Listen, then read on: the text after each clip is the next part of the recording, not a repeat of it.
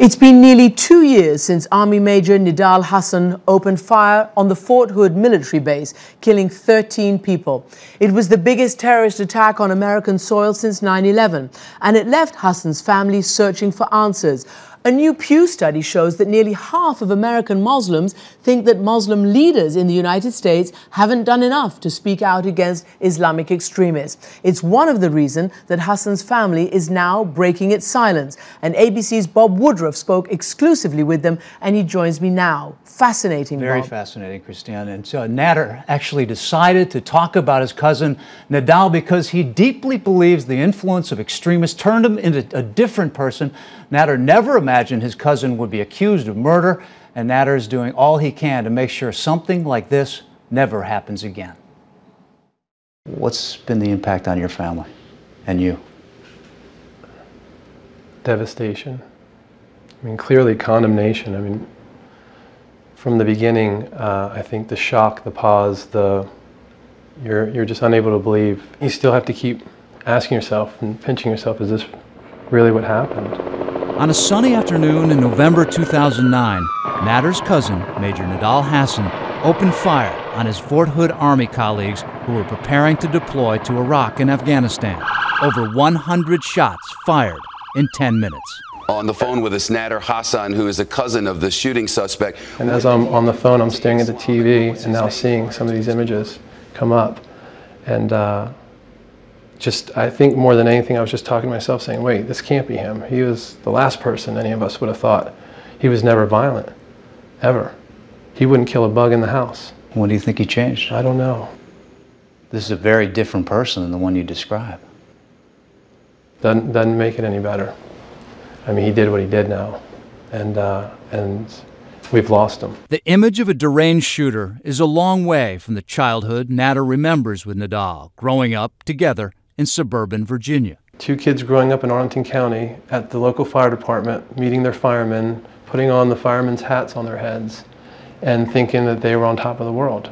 Nader says they had the typical American upbringing, from birthday parties to Santa at Christmas. Graduations were family occasions. Nidal, there on the left, celebrated with Nader. They didn't speak Arabic and weren't very religious. Was Nidal religious, more religious than you? No, not Or at the same? Same. Same thing. Kid, play soccer, catch butter, catch fireflies, you know, and uh, no, we were never. He would we would fast. That was a big thing. Nidal had joined the Army out of high school and turned to religion after the death of his mother in early 2001. That was his mom's wish. No God. And so he started praying more and becoming more pious. And then all of a sudden, four months later, September 11th happens. Now that you might see that as your first challenge as to how much do you believe in your faith. Who knows what was going on in his head? As an Army psychiatrist, Nidal was assigned to Walter Reed Hospital to counsel returning combat soldiers. His family says their traumatic stories deeply affected him, and as he became more religious, he began to question the war on terror as a war on his faith, dreading his own deployment. He even gave a PowerPoint presentation to military colleagues, which seemed to solidify his evolution of beliefs. He wrote, It's getting harder and harder for Muslims in the service to morally justify being in a military that seems constantly engaged against fellow Muslims. There was this issue of choosing God and country.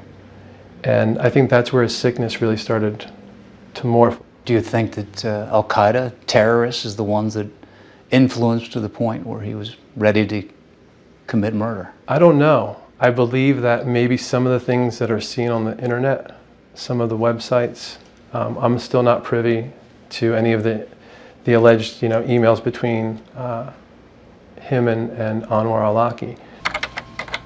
It is believed Nidal exchanged emails with al Awlaki, the suspected Al Qaeda terrorist in Yemen, reportedly writing to him, I can't wait to join you in the afterlife, and asking, when is jihad appropriate? Yeah, the Senate investigation called this the ticking time bomb.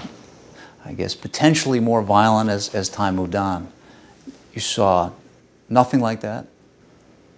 Nope, If you had known what was possibly going to happen, would you have turned him in? absolutely, without question. Without question. That's why we had the FBI come to our house right away. If there was anybody else out there that we could help. Nidal was shot three times during the shooting rampage and is now paralyzed from the chest down. He has since been charged with 13 counts of premeditated murder and 32 counts of attempted murder and could face death for these crimes. Do you think he should get the death penalty? I don't believe in death penalty.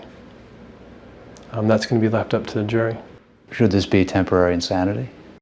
He committed a crime. I don't think there's any question as to who the shooter was. Um, and the question is still why, and that's he'll get his day in court, and he'll be tried by a jury of his peers, and uh, they'll make the ultimate determination. Some of the Fort Hood families who attended Nidal's preliminary hearing said he showed no signs of remorse. Would you apologize at all for what your for what your cousin did? That's not my place. I mean, clearly, I apologize for what's happened to them. I mean, I apologize to anybody, whether my cousin was involved or not. I'm sorry for that happening. Um, but that's what our family wants. Our family wishes our cousin to come back, accept responsibility, show remorse, try to turn this into a positive thing. So Nader is taking it into his own hands, a positive step, by starting the Nawal Foundation, whose primary message is one of nonviolence. His all American upbringing instilling in him the belief you can be both devoutly Muslim and defiantly patriotic. It's almost two years now since uh, my cousin, I believe, was stolen from, you know, stolen by some psychotic combination of whatever might have happened, but we lost him. The Nidal that we knew before Fort Hood is not the Nidal um, from Fort Hood forward. And so, uh, how do we make sure that doesn't happen again? Why are you doing this now? As one of the uh, agents um, that I work with in, in my business said, the silence is deafening um, from the moderate voice. I think the terrorists really have an effective poison that they're putting out there. The terrorists are trying to make it an issue, a false choice of choosing God over country. You can be fully Muslim and you can be fully American and there's no conflict. Do you have any desire to talk to some of the family members? If they'd want to talk to me. I do know that um, they're good people and uh, they've been in our prayers. If you did talk to them, what would you say? God bless you. God bless the ones you lost or been harmed. And God bless our country to get through this. Now, Nader Hasan hopes the foundation named for his mother can give voice to moderates and be a force for change against radicalism. Bob, thank you so much. So valuable and such blunt commentary from the cousin. Very blunt.